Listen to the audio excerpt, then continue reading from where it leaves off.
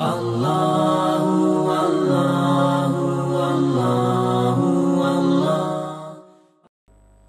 रखिएगा जान मोहतरम, ये मुबाहिला नहीं है, ये लफ्ज है मुबाहला। बरवजने मुसाफहा, मुआनका। ठीक है? लिहाजा मुबाहिला नहीं, मुबाहला, जेर के साथ नहीं, जबर के साथ। मुबाहला। तो ये मुबाहिला ईद है, ईद मुबाहिला। किसकी ईद? अहले की सच्चाई के साबित होने की ईद। कुरान की जीत की ईद।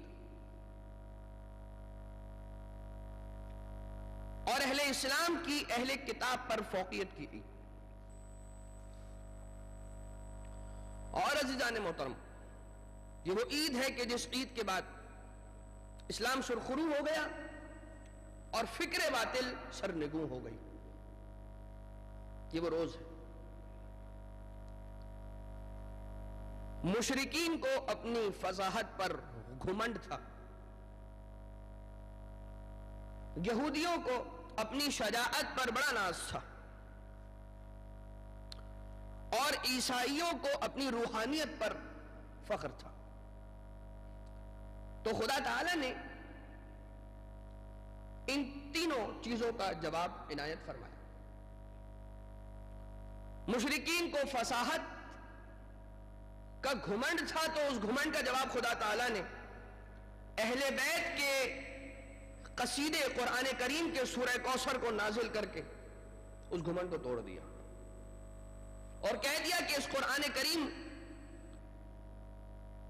की तरह से तीस पारे क्या, एक पारा क्या, एक रुकू क्या, एक आयत क्या? तुम एक आयत भी अगर ले आओ,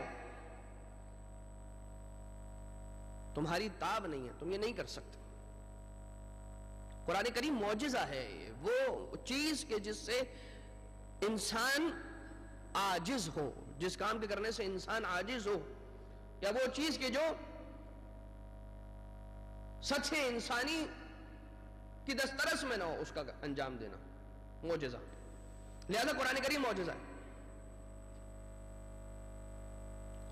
और यहूदियों की शजात का जवाब शजात और कुत बाजुए अली इबन अभी तालिब सलाम के ज़रिए से दिया गया।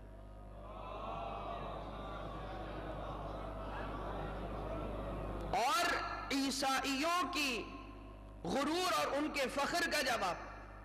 कि जिन्हें अपनी रूहानियत पर बड़ा नाज था, उसका जवाब अगर दिया गया तो इसी मुबाहिला के ज़रिए से, पंजतन पाक के ज़रिए से दे दिया गया। तो अजीजान मोहतरम, मुबाहला के अंदर हक सुरखुरू हो गया, बातिल सरनिगु हो गया।